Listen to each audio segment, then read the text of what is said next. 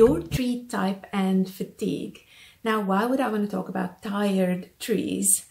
Well, um, if you have been journeying with tall trees for a number of years, um, we started out in 2012, and maybe you've known our work and you've participated in workshops and have done all sorts of profiles with us. But if you haven't, then you missed a crucial beginning to this company, and that is we actually grew out of the mother company called Evergreen Parenting that was based on a book called Growing Kids with Character. And the book Growing Kids with Character tried to help parents understand their children's personality type. Um, and that book has been uh, rewritten, but the original one had this little checklist with characteristics for kids, and it had a section for um, babies, one for toddlers, and, and so forth up to teenagers and parents could you know tick the list and add it all up and figure out which tree types combine in their kids. Now we have since become a little well a lot more sophisticated and now have a 360 test for children of that age where other parents or uh, teachers or coaches can also weigh in on a child's personality. And the reason for that is, of course, that we can't see our own, own children very clearly. Research has shown that, and we are not objective enough when it comes to them. so we need other people to help see them clearly. But there was another little disclaimer in that book. And it said that there are phases in a child's life when we cannot accurately see temperament because something else is going on developmentally. Like in the terrible twos, when they all look like rose bushes and when the tantrums are so frequent and when their favorite word is no. But there was still a little clue as to how to get to their true temperament if they are in that phase where it's so hard to see who they really are. And that was to look among, you know, a few other pointers to their behavior when they are tired, how they become tired, what makes them tired, and how they act when they are fatigued. So I'm going back to that original claim that that is one of the contexts in which we see temperament the clearest is when we are done. And it's of course because then we are too tired to pretend to be somebody else. We're too tired to fake it. And, and even if at work or in my family, I may have the energy most of the day to adapt and to put on my best face um, and to bite my tongue and so forth. Something completely different happens when all of that energy has been drained out of me and I'm at the end of the day and I'm running on empty. So fatigue just shows us off in our true colors. Now, um, of course, we can talk about what fatigues the different trees, what drains us, and that's a topic for another day. And also what to do about it and how to handle it better. So, but today's topic is just, this is what it looks like. So the purpose of this video is to help you understand what is normal in fatigue if you already know your personality style and also how to use the signs you see in your children, your colleagues, your spouse when they are tired to have a keener eye for their true temperament that underpins those patterns. So here we go. Let's start with the boxwoods for a change. Now, unfortunately, um, boxwoods are, are not great when we are exhausted. We are really not um, fun when we are, well, pretty much not fun, period. But we are even less fun when we are exhausted. So and I'm allowed to say it because I've got so much box within me, so don't shoot the messenger.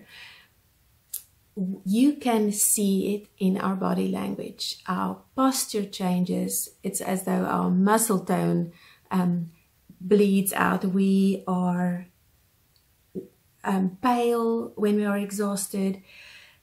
Everything in our system tells tells you that we're tired. We can't hide it, and makeup can't hide it, and lighting can't hide it. It is just there and it is most noticeable in our voice. Now, our limbic brain is that brain where we process emotion, and um, I'm obviously oversimplifying, but there is a nerve running straight from there to our vo vocal cords, and that is why we can call a boxwood, and the moment they pick up the phone, we can go, "Oh no, what's wrong?" because you can just hear, "Oh, it's not a good day," or you can hear this unusual excitement in the boxwood's voice and you know something very wonderful happened and and you go ahead and ask we just bleed how we really feel into our into our voice and into our tone of voice. Especially when we are tired we're not going to be able to hide it. So it's in everything that you see and hear with us. And then we are going to whine. We're going to be a little bit more critical. We're going to see the cloud and not the lining. And we are going to need you to basically um, get out of the way until we've had a good nap. That's the bottom line is you're not going to talk us better when we are tired. You're going to have to um, hope that we will fall asleep soon do something that revitalizes us and return with our happy spirit in place because we are not able to switch off the emotional side and switch on the rational side of our boxed personality until we have had a good rest. So, not a lot of good news in that category. Telltale sign of boxwoodness so if we are the opposite tree and we are a palm tree, it is a different story. We get wilder, louder, and more fun and more irresponsible, and we exhibit more high risk behavior until we suddenly fall over and we're done. So we're a party animal, and all of a sudden we go, oh, okay, I gotta go, and and we check out. So we are still a lot of fun to be around, even right till our last word uh, or our last little dance for the day. Rose bushes kind of are, are grouped with a box. So it's uh, rose bushes are not great when they're tired. And the reason is tired equals weak and I'm not weak. So I'm going to fight this tired and prove that I'm not tired. And if you have raised a rose bush, you already know that. They hate the word bed, sleep. They just fume at the mouth and maybe even foam at the mouth if you tell them that they need to go to sleep. Um, and even as an adult now with the rose in me, people tell me, you look tired, you need to go to sleep. I'm upset. I'm angry. That little kid that doesn't want to be called a baby stands up in me and goes, I'm not tired. And then we just work harder, stay up later, abuse our bodies by not giving it the rest and the nourishment and the liquids it needs. Classic Rose to deny that we're tired and to fight the fatigue and to go beyond that point where we're supposed to go to sleep. And I don't know if you know what sleep is like um, for us, but it's like a bus um, in a little town. It only comes by every so many hours, and if you miss it, you know, it's kind of over. So that's what rose bushes do. They get this extra breath and then they just keep going for another four or five hours um, until they learn to listen to their bodies and to go down when they're supposed to go down.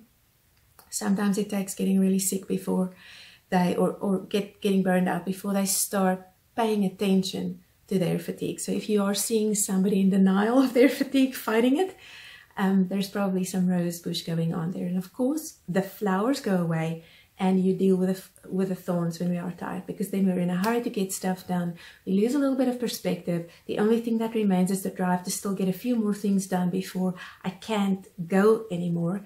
And if you are in my way and I still have some goals for the day, then the thorns are, are likely going to leave a scar on you. So I give you permission to avoid me when you can tell that I'm tired um, me and, and everybody else in my species. And then the last one, the, the pine trees. Oh, bless their hearts, as they say here in the south. they just fade. They just go quiet and then kind of get comfortable and they're gone. So sweet. They are not a problem when they are fatigued, and fatigue is not something they fight. Sleep is their friend. Typically, they when they need to do it, they go down, they disappear. They're those kids who put themselves to bed. Yeah, some people have those. They just, they just go. That's typically the pine. They just um, exits when it's time to exit. If they don't, and if for some reason they still want to stick around their people, which is the only reason that they will fight fatigue, not for work, not for chores, not for fun, only for togetherness and connectedness will they stay up later and stay uh, with an activity longer than they should. Um, but even then, they will become quiet and they will just fade out. When they are really young, they will become a little fussy. But as they get older, they're just um, they're just quiet and then they're gone. Um, so that's the fatigue pattern of the trees around you. And of course, it becomes a little bit more interesting when the personalities combine. Um, And when you want to know what a person is going to be like when they are tired, I suggest you focus on the area called the social profile and you read a little bit about their um, their forest fires, how they communicate and handle emotions, because the negative side of the communication profile will definitely feature when we're tired, and we will be more sensitive to conflict when we are exhausted. But then also have a look at fertilizer and frostbite because those two areas determine how close we are to burnout. And of course, burnout is fatigue on steroids, so it's constant fatigue. And us not getting our fertilizer, that peps us right back up, and us um, getting too much frostbite, those things that add to our fatigue and can push us to, to the brink of burnout. So if you have not done a Tall Trees leadership profile, consider doing that so that you can see these other F words that apply to you, your forces within, those are your natural strengths, your fields of greatness, areas in which you can lead like nobody else can, your uh, fertilizer, these unique needs you have to keep your energy levels up and to keep yourself productive and um, to maximize your leadership impact. Frostbite, the opposite one, all those draining and stress factors fast forward all the ways in which you can grow. And um, in every one of these uh, areas, you can find information for both adults and teens, and then, of course, the kids as well. So go and have a look at that and manage your own fatigue according to those guidelines in your Tall Trees leadership profile for adults, teens, or then the kids profile. Have fun and have a good rest.